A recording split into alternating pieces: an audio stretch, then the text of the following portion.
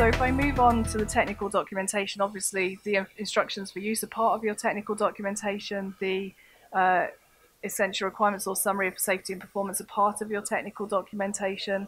Um, overall, there are other aspects. Annex 2 of the MDR starts to talk in a lot more detail about what is required in terms of technical documentation. So under the MDD, the conformity annexes described very generally that there should be technical documentation and it gave some headers in Annex 2, Section 3 about, you know, there should be enough information about the design of the device, about the clinical data. But Annex 2 of the MDR starts to say that the technical documentation and, if applicable, the summary thereof should be drawn up by the manufacturer. It shall be presented in a clear, organized, and readily searchable and unambiguous manner. So, if I'm honest, some of the documentation that we receive is a random collection of uh, PDF files, and we have to navigate them ourselves. This is starting to say that you need to bookmark it, you need to make it readable, it needs to be organized in a logical manner. And, and the, the regulation gives you a lot more help to do this because it provides a lot more detail about what should be in there. So the content is much more, uh, much more specific. So in, in terms of the headings, there are a very there, there is a very high level table of contents that describes the description, the information supplied, the design and manufacturing, through to the product verification and validation. And I would say that this is quite similar to what's in the MDD. The difference with the MDR is that it then goes into a lot more detail about what that means.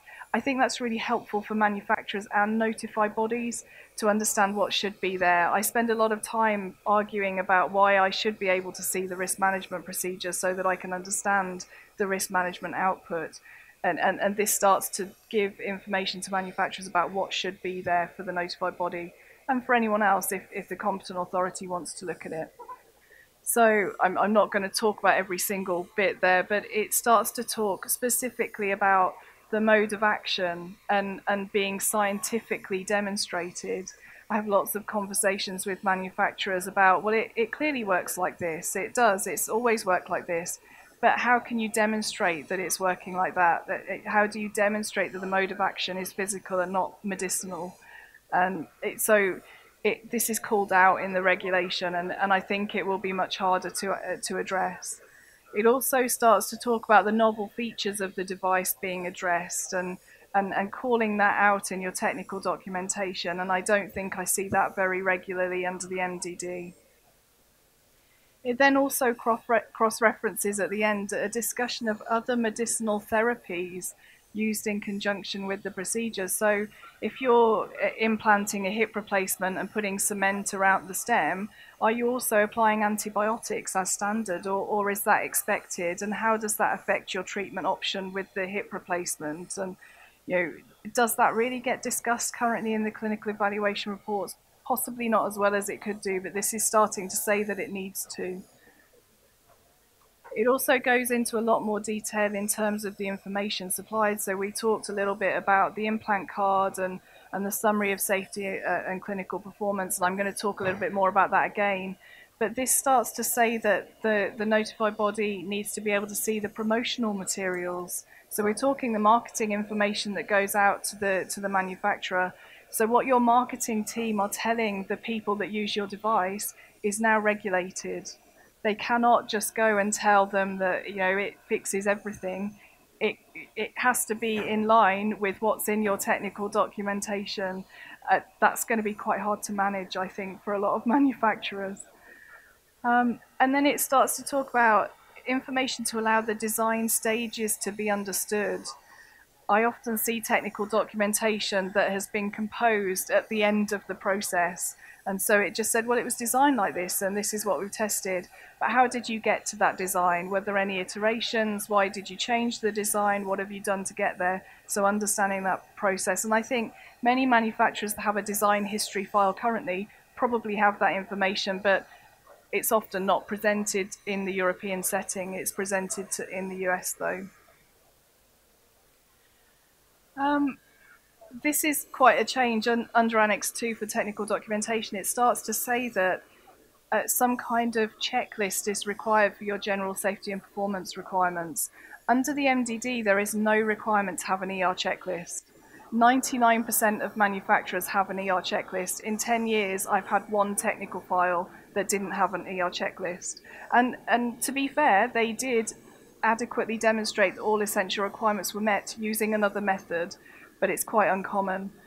Under the MDR, it says that you will have a checklist and you will define how all of the safety and performance requirements have been met.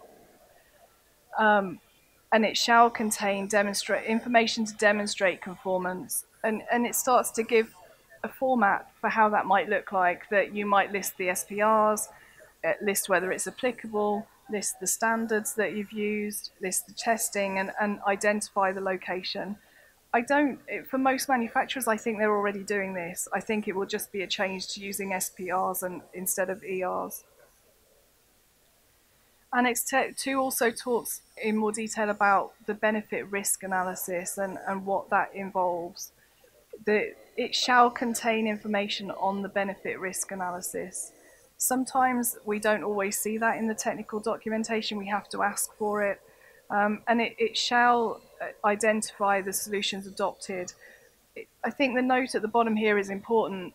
This part is just saying that everything in 14971 2012 applies and it starts to bring a lot of the words from 14971 into the regulation.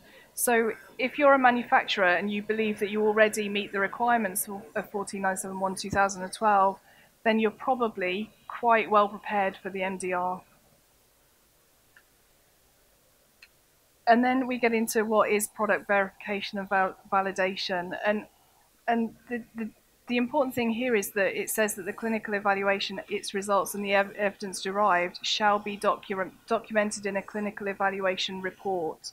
So it specifies that there will be a report that will collect all of this data and put it put it together and justify the, the clinical evidence. You'd be surprised how many times I have seen a collection of peer-reviewed papers just stapled together in the back of a technical file that that can't happen anymore. Under the MDR, it says specifically that there should be a report. Um, and, it, and it gives more information about those specific cases, so medicinal substances and the requirements for uh, medicinal consultation, and also those other CMR products and, and devices that need to have a measuring function or a sterile function.